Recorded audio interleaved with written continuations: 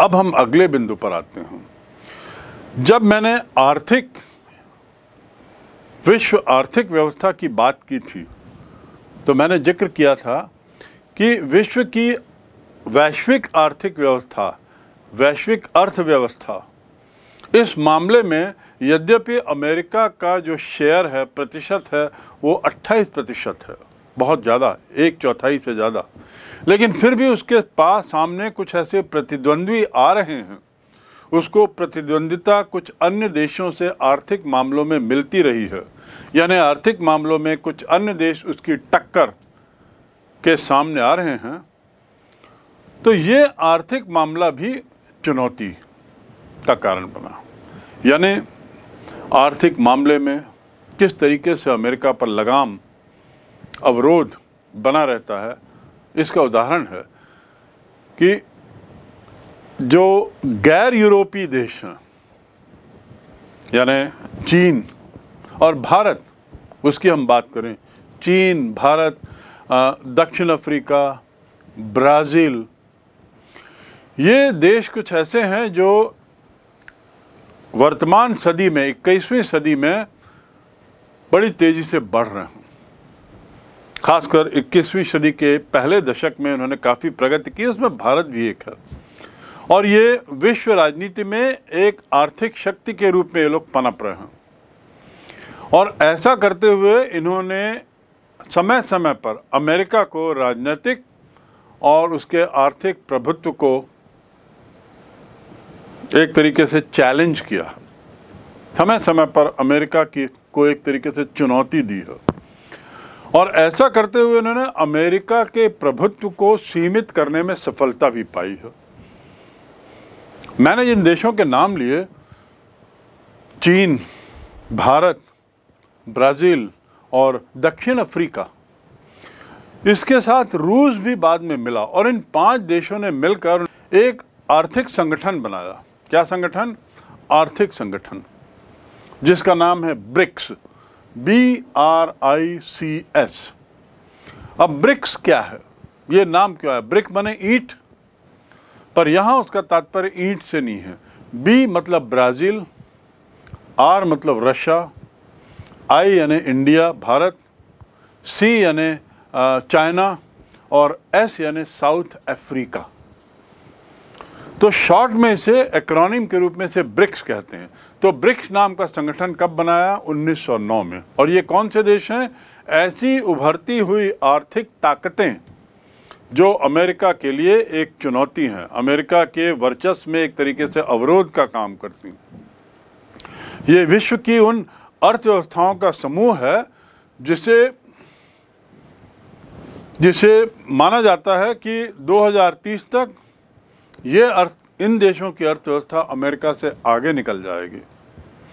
Goldman Sachs Goldman Sachs ये एक अमेरिकी संस्था है और यह समय समय पर विभिन्न देशों की आर्थिक स्थितियों का मूल्यांकन करता रहता है और मूल्यांकन के आधार पर इन देशों की आर्थिक रेटिंग करता है। उस रेटिंग के अनुसार गोल्डमैन सैच ने ये भविष्यवाणी की है कि 2030 आते आते ब्रिक्स की और ये नवोदित जो आने वाले जो ये राष्ट्र हैं, जिनका नाम लिया मैंने, ये राष्ट्रों की अर्थव्यवस्था अमेरिका से आगे निकल जाएगी। 2008 से चल रही जो आर्थिक मंदी के चलते अमेरिका की जो अर्थव्यवस्था, वो वैसी लड़खड़ा गई है। आर्थिक मंदी, जिसे हम डिप्रेशन कहते हैं, वो एक तरीके से इसने अमेरिका की अर्थव्यवस्था को प्रभावित किया है, जबकि इस आर्थिक मंदी के चलते ये जो पाँच देश हैं इस पे उतना दुष्प्रभाव नहीं पड़ा है। संगठन विश्व अर्थव्यवस्था के ऐसे प्रबंधन की मांग कर रहा है, जिसमें अमेरिका के साथ साथ अन्य देशों की भागीदारी हो। ये जो ब्रिक्स है, ब्रिक्स अमेरिका को बार बार चेतावनी दे रहा है इस बात की, कि विश्व की अर्थव्यवस्था अमेरिकी केंद्रित अर्थव्यवस्था ना हो। ऐसी अर्थव्यवस्था हो ऐसा प्रबंधन हो जिसमें अमेरिका के साथ साथ अन्य देशों का भी भाग हो अन्य देश भी सहभागी बन सकें। तो ये संगठन भी एक तरीके से हम कह सकते हैं अमेरिका को आर्थिक क्षेत्र में चुनौती दे रहा विश्व बैंक मुद्रा कोष अंतर्राष्ट्रीय मुद्रा कोष यानी आईएमएफ में आ, अमेरिकी भागीदारी को कम करने का प्रयास हो रहा है। इसका अर्थ क्या है? आईएमएफ विश्व बैंक, वर्ल्ड ट्रेड ऑर्गेनाइजेशन, ये जो संस्थाएँ जो यूएनओ के मातहत हैं और कुछ स्वतंत्र भी हैं, इनमें अमेरिका का दबदबा है। अमेरिका ने इसमें अपने सबसे ज़्यादा पैसा दिया है, सबसे ज़्यादा आर्थिक योगदान किया है।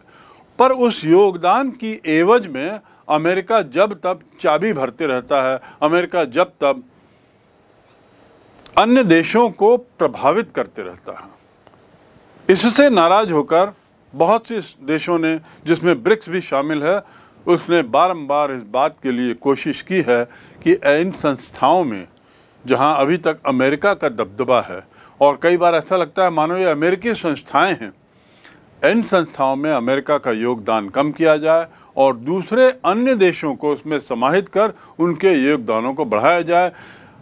इसी परिप्रेक्ष्य में एक और ग्रुप बना है जी ट्वेंटी जी ट्वेंटी एक दूसरा ग्रुप है। जी मतलब group. Group of twenty nations. क्या है? Group of twenty nation.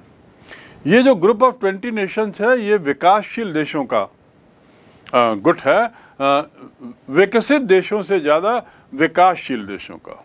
इनका कहना है कि जो अंतर्राष्ट्रीय प्रबंधन है आर्थिक प्रबंधन इकोनॉमिक मैनेजमेंट उसमें विकासशील देशों की भूमिकाओं को बढ़ाया जाए।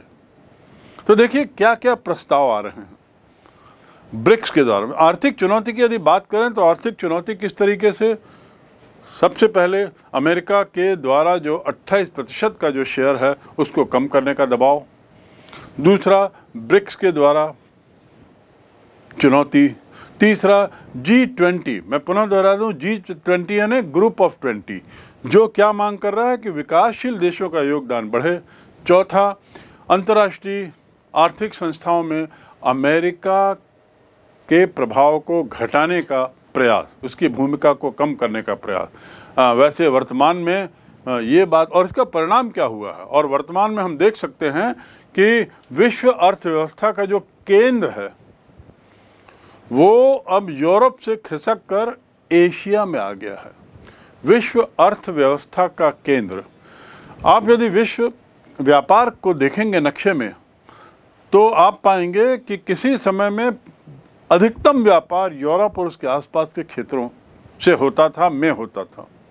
अब ऐसा नहीं है। स्थितियाँ बदल गई हैं, समय बदल गया है, न्यू वर्ल्ड ऑर्डर आ गया है, नई वैश्विक व्यवस्था आई है विश्व एक ध्रुवी हो गया है, लेकिन उस एक ध्रुवी होने के बावजूद अमेरिका के रास्ते में कई अवरोध हैं, नई शक्तियाँ उभर रही हैं। यदि सोवियत संघ का विघटन हुआ है तो ऐसे कई नए देश भी सामने आए हैं, जिनका उद्भव हुआ है, जिनका विकास हुआ है, और वे निर्धन देशों से विकासशील देश बने हैं। कुछ विकासशील देश अब विकसित होने के रास्ते में हैं, और उन्हीं में ये ब्रिक्स नेशन का नाम बारंबार आता है।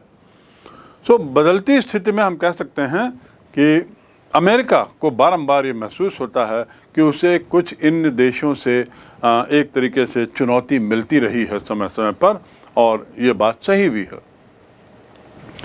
अगली चुनौती उसे अमेरिका को कहाँ मिलती है? अमेरिका की वर्चस्वता को अगली चुनौती कहाँ से मिलती? वह है छठवां बिंदु, वैचारिक चुनौती। वैचारिक चुनौती से क्या तात्पर्य है? वैचारिक चुनौती से तात्पर्य है दो तरह का। एक तो सांस्कृतिक स्तर पर और दूसरा विचारधारा, राजनीतिक विचारधारा या आर्थिक विचारधारा के स्तर पर। विचारधारा के स्तर पर यदि हम बात करें आर्थिक विचारधारा के तो वैश्वीकरण जहाँ, वैश्वीकरण अर्थात क्या होता है? ग्लोबलाइजेशन। जिसमें हर देश का योगदान रहता है, हर देश जुड़ा हुआ रहता है।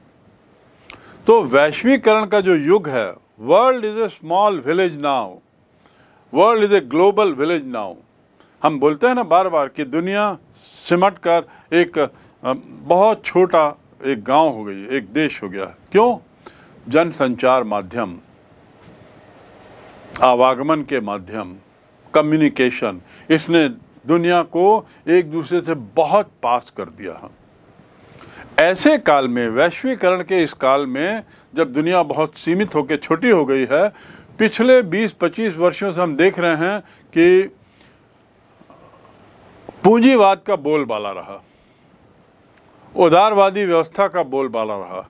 लेकिन जैसे जैसे वैश्वीकरण की प्रक्रिया आगे बढ़ रही है जैसे जैसे और ग्लोबलाइजेशन की ओर विश्व जा रहा है तो कुछ दुष्परिणाम भी सामने आ रहे हैं।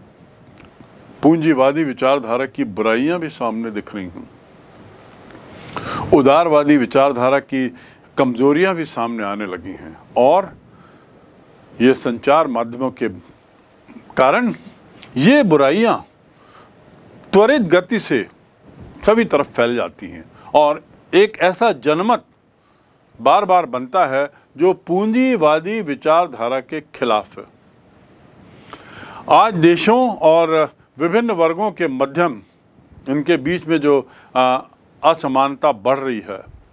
और निम्न वर्ग या कुछ देश जो मुख्य धारा से अलग हो रहे हैं, वहाँ पर भूखमरी की समस्या है, गरीबी की समस्या बनी हुई है अशिक्षा की समस्या बनी हुई है। कुल मिलाकर ये देश पिछड़े हैं और पिछड़े देशों के बारे में जानकारियाँ ज़्यादा से ज़्यादा अब इस सोशल मीडिया के माध्यम से लोगों तक पहुँच रही हैं। परिणाम क्या हो रहा है कि दुनिया के एक बहुत बड़े तबके की आँख खुल रही है पूंजीवादी विचारधारा के दुष्परिणामों को लेकर।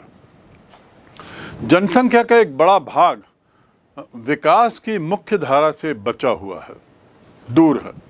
यदि हम पूंजीवादी नीति की बात करें तो पूंजीवादी नीति में जो अमीर है, वो अमीर होता चला जाता है। क्योंकि वहाँ पर क्या विचारधारा चलती है? सर्वाइवल ऑफ़ द फिटेस्ट जो फिट है, वो सर्वाइव करेगा। जो अनफिट है, वह पेरिश हो जाएगा, समाप्त हो जाएगा। तो अनफिट का अर्थ क्या है? अनफिट का अर्थ गरीब, निर्धन। और वहाँ पे फिर क्या होगा? स्वास्थ्य की समस्याएँ, भूखमरी, अकाल आदि आदि। ये समस्याएँ कम होने का नाम ही नहीं ले रही हैं, बल्कि दिनों दिन ये और बढ़ती जा रही हैं और इसकी जानकारी भी लोगों को ज़्यादा से ज़्यादा मिलती जा रही है। परिणाम असंतुलित विकास के कारण क्या हुआ? परिणाम क्या हुआ है कि दुनिया को मालूम पड़ रहा है कि पूंजीवादी विचारधारा असंतुलित विकास को प्रमोट करती है। असंतुलित विकास को बढ़ावा देती है।